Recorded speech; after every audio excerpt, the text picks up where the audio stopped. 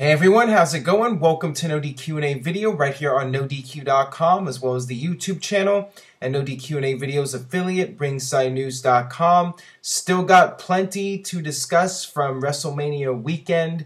Don't forget to check out NoDQ.com for the very latest regarding the fallout from WrestleMania and check out my photos from WrestleMania at Facebook.com slash NoDQ.com and just click on the albums. You'll see the pictures. Got your questions here from spring.me slash Aaron Rift. Let's get started with the first one today from CJ Records. Ronda Rousey at WrestleMania. Do you think that they really need to pull out all the stops to sign her? The reaction she got was amazing. If they are serious about giving Divas a chance, is she the person to bring credibility to the Divas division? Well, here's the thing. If Ronda Rousey was to compete in WWE, I think it would be a one time thing for WrestleMania. And that's still very much up in the air right now. It will depend on what her situation is with UFC. But what I got from WrestleMania was it's going to be something with her involved in the mix at next year's WrestleMania. Whether it's The Rock and Ronda Rousey against Triple H and Stephanie in a handicap match or The Rock versus Triple H with Stephanie in Triple H's corner and Ronda in The Rock's corner. That seems to be the direction WWE's going in for next year's WrestleMania. And The Rock has even said it himself during interviews that if he was going to be part of WrestleMania in another match, he would want to break records. He would want to do something that hasn't been done before. A mixed tag team match, The Rock and Ronda Rousey against Triple H and Stephanie McMahon that would be huge business. That would be a match that could very well shatter all previous records in WWE. She's a huge name right now. She's arguably the greatest female MMA fighter in the world today. And I think it's just a matter of WWE and UFC being able to come to an agreement. I mean, WrestleMania 32 is still a year away. And, um, you know, I think if WWE has it their way, they're going to do that mixed tag team match and hopefully break all records. And at the very least, I would expect her to be involved in some fashion, perhaps being in The Rock's corner if they do a singles match instead. Um, but either way, that's what I that's what I got from the WrestleMania angle. That that was setting up something big for next year's WrestleMania. All right, this one comes from songwriter John. Hey Aaron, do you think WrestleMania went too far with many entrances? I really felt many were very overrated, like midgets for Sting, and that had the worst, but I thought Rusev's was pretty cool with the tank. Please answer in video. Well, the thing about WrestleMania is it's all about the glitz and the glamour and uh, the big entrances, just like the Super Bowl has the halftime show and all the pyro and, and all the uh, the interesting stuff going on. WWE does the same thing for WrestleMania. They have the big pyro and the fireworks, and they have the entrances. Uh, you know, it's WrestleMania, it's the biggest show of the year. So you want to do something over the top and different and unique from what you have on your typical WWE television show. So I did not feel that WWE went too far. I think there was a really good balance of wrestling. There was tons of great wrestling, and then you had uh, the the entrances and I thought that they were really cool from what I could see. I mean, if you guys saw Noah's video, um, the one negative about the experience at WrestleMania is that we had this huge production tent that was blocking our view of the entrances. And if you notice from my pictures, there's no pictures from the entranceway because I couldn't see anything. But um, from what I could see on the screen and what I was able to watch on the network, um, the entrances were really cool. I especially loved Triple H's Terminator entrance uh, with Arnold, and the crowd just popped huge for that. You know, it was really cool, and it made WrestleMania all that more special. So I, I don't feel WWE went too far with the entrances this year. All right, this one comes from I am Avian. Hey Aaron, you truly need to address the daylight situation at WrestleMania. A lot of people, including JR, criticized it during the show. Don't you agree that the atmosphere would have been better overall and the show entrances would have been cooler with lights and pyros? Well, I think WWE did the best they could under the circumstances, and um, for me as a viewer, live in attendance, it did not bother me that it was daylight. I, I felt that it was just as enjoyable as it would have been in an indoor stadium.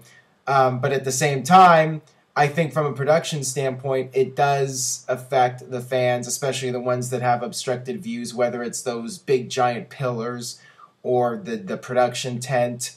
Um, you know, that's the one negative. But as far as the daylight affecting the entrances, it didn't really bother me that much. I mean, for Bray Wyatt's entrance, it wasn't nearly as impactful when he came out. It, it's much cooler when it's done inside uh, with the, the lighting and everything, and everybody with their cell phones lit up. Uh, it just didn't look as good with uh, Bray Wyatt's entrance. But still, I, I, like the fact that it's a change of pace every now and then, doing the show outdoors. Um, it's something different from the norm.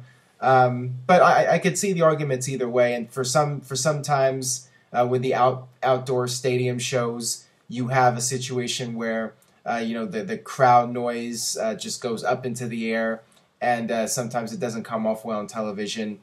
Um, but from my perspective, being there live, the crowd was red hot for almost the entire show. And uh, even though uh, it was very hot outside, it was about 80, 82 degrees. Um, you know, it seemed like the fans were still into the show from start to finish, despite the heat and uh, despite being outdoors and having the distractions uh, with the the um, obstructions and the, the pillars and all that stuff. It seemed like the, like most of the fans we're really having a good time regardless of um, the environment. All right, got this question here from Worthless Nut. Being in Texas this year, how do you feel about Chuck Norris entering the Hall of Fame with possibly Undertaker going in? I feel it would be a good addition with their history at Survivor Series, and it's Chuck Norris. Well, yes, Chuck effin Norris. I guess if you were to induct a celebrity into the Hall of Fame, uh, Chuck Norris would be a good choice just because he's Chuck Norris and you don't need a reason. Chuck Norris is Chuck Norris.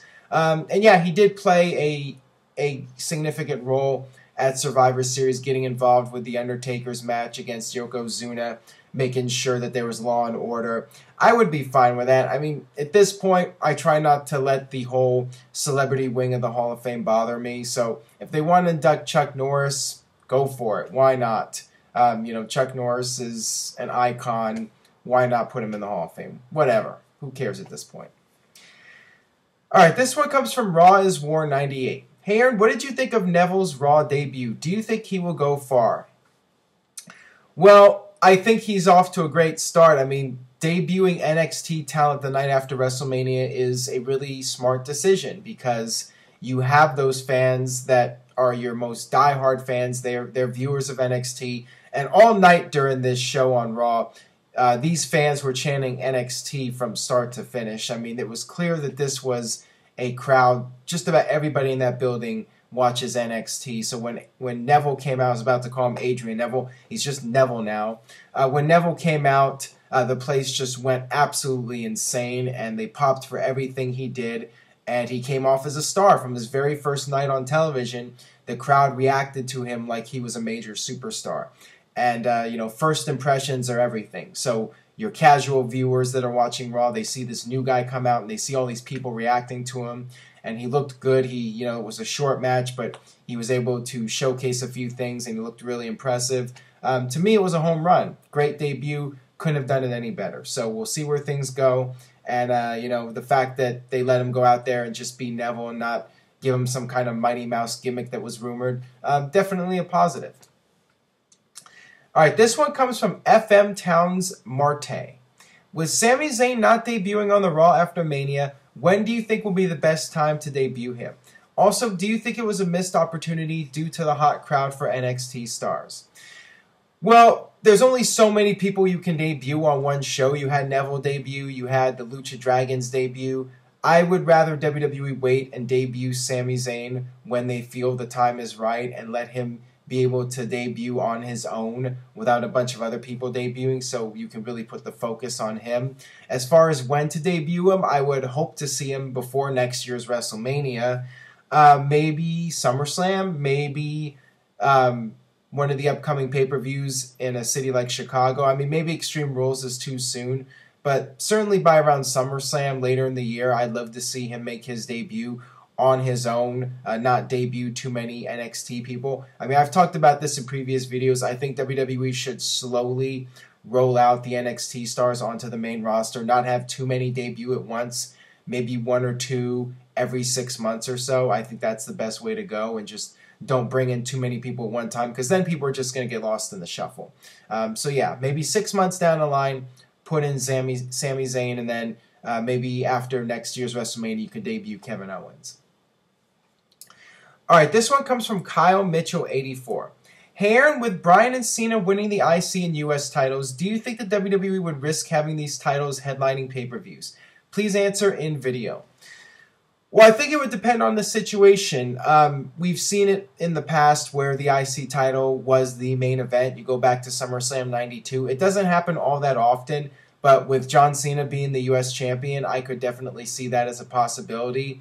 And I could see title versus title headlining a pay per view. Um, either Daniel Bryan versus Seth Rollins um, on a pay per view or John Cena versus Seth Rollins. Uh, WWE has a lot of different options and ways they can go. Um, and uh, we've seen it before. I think last year we had um, Evolution versus the Shield. That was the main event ahead of the WWE title match. I wouldn't do it too often, and now that Seth Rollins is the champion, um, the WWE title should be headlined on pay per views as much as possible. But every now and then, if WWE wants to do one pay per view with the US title as the main event, um, you know, I think that that would be a good idea to elevate those titles a little bit. All right, this one comes from Kyle Mitchell84. Got another question from him. Hey, Aaron, do you think the WWE could make the Andre the Giant Battle Royal a stipulation type match in the future? Say the winner becomes the number one contender for the US and IC title. Please answer in video.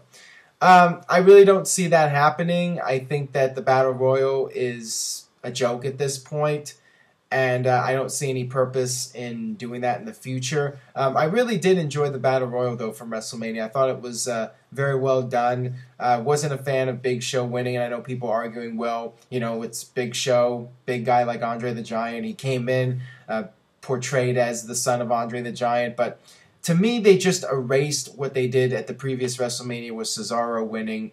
And, um, you know, I'd rather see a younger star win the Andre Battle Royal. Um, I just think that match could have elevated somebody. As far as it being a stipulation in the future, um, I, I really don't think they should keep doing it. I mean, they, they probably will just because it's a, a easy way to get a lot of people on the WrestleMania card. Um, but I don't really see the need to add any kind of stipulation to it. All right, got one more question here from K Fabe Candy Ass. Does anything take the heat out of a room like a Stephanie McMahon uh, shitty music, her shitty music interrupting a promo. What's the point? Is it time Daddy reeled her in a bit? This is reaching 2001 levels of McMahon overexposure. Well, the one thing that, that annoys me is, uh, you know, with this whole storyline uh, at WrestleMania and possibly leading to a mixed tag team match, it just means we're going to get another year of Triple H and Stephanie. Think about that. If, if that's what WWE is building towards, uh, we're going to just have more Stephanie and Triple H 20 minute promos for the next year. And I was hoping uh, a year and a half ago that WWE would drop the authority angle. Uh, it doesn't look like it's going anywhere in, in the near future. You know, I thought it was going to end at Survivor Series. Nope. Thought it was going to end at WrestleMania with Sting conquering Triple H and ending the authority. Nope. And uh, now I guess we have to wait to WrestleMania 32 to see if The Rock and possibly Ronda Rousey can shut up Triple H and Stephanie once and for all. Or will it just be another nope? Uh, we'll have to wait and see. So that'll do it for this edition of No DQ&A video. Thanks as always for watching. Like I said, check out No DQ's Facebook page. I posted tons of pictures from WrestleMania weekend, the Hall of Fame, WrestleMania, and Raw. Stay tuned to NoDQ.com for the very latest, and I will see you guys next time.